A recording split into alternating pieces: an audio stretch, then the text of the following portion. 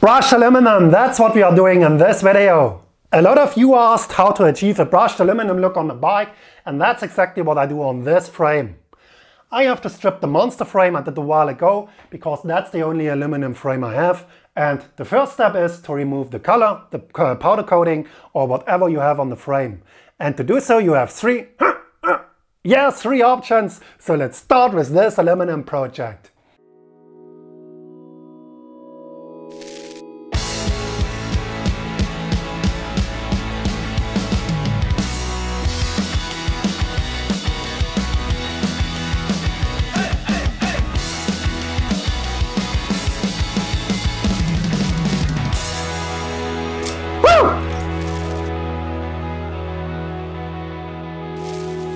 First option is to use sandpaper or wet sanding paper to remove the original color.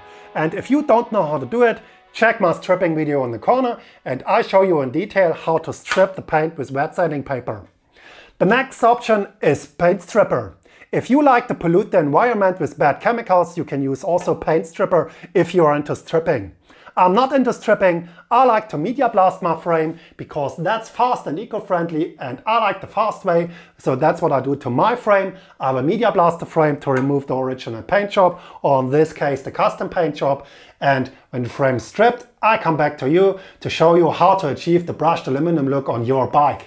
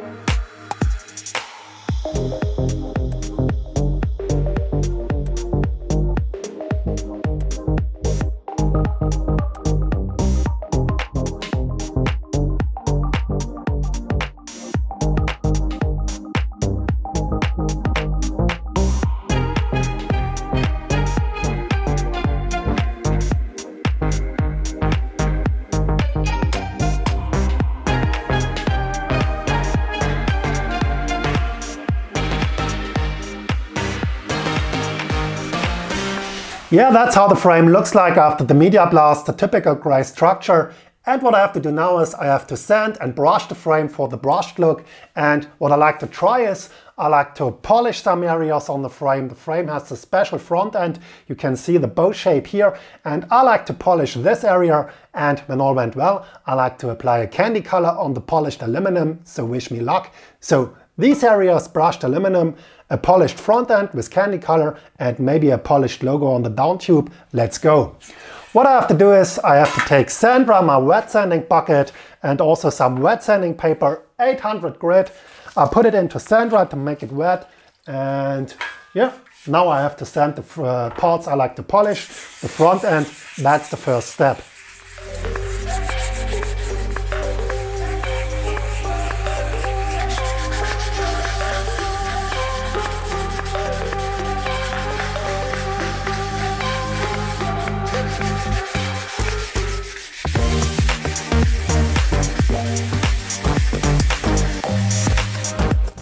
Yeah, the moment has come and that's the first time in my YouTube career I have to stop a video.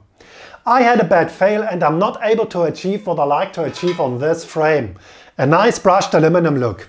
It's four hours later and I tried a lot of different sanding techniques with these wet sanding papers, also with sponges and orbital sanders, and there's no chance to achieve a nice and even brushed aluminum look on this frame. And there are different reasons for the fail. The first one is it's a very cheap frame. The whole bike cost 85 euros, which is around about 90 or 95 dollar. So the alloying of this frame is very cheap and there are a lot of strange spots and the frame was powder coated before and I believe it was also media blasted before and that's why I run into problems. The tubes are no longer even, there are a lot of strange spots, you can see here these dark spots and it would take me days to flatten the tubes to polish or, or brush them. And there are also strange spots in the alloying itself. You can see them here.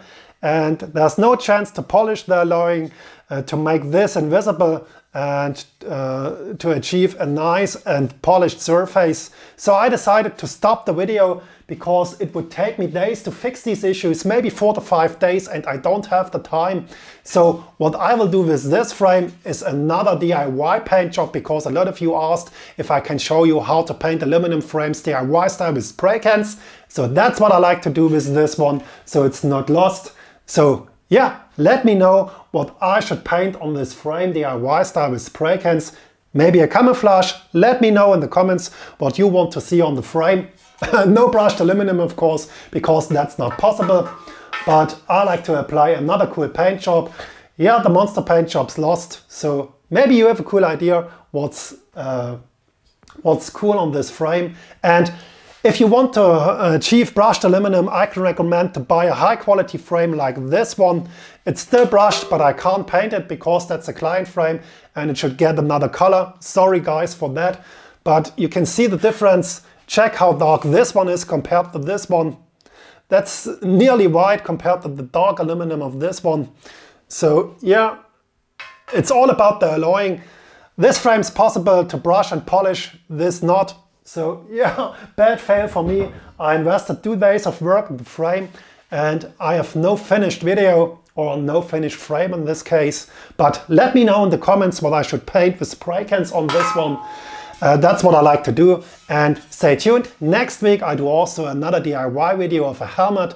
I will paint a helmet with spray cans, monster style like this frame. That's also interesting for you if you want to paint your helmet yourself.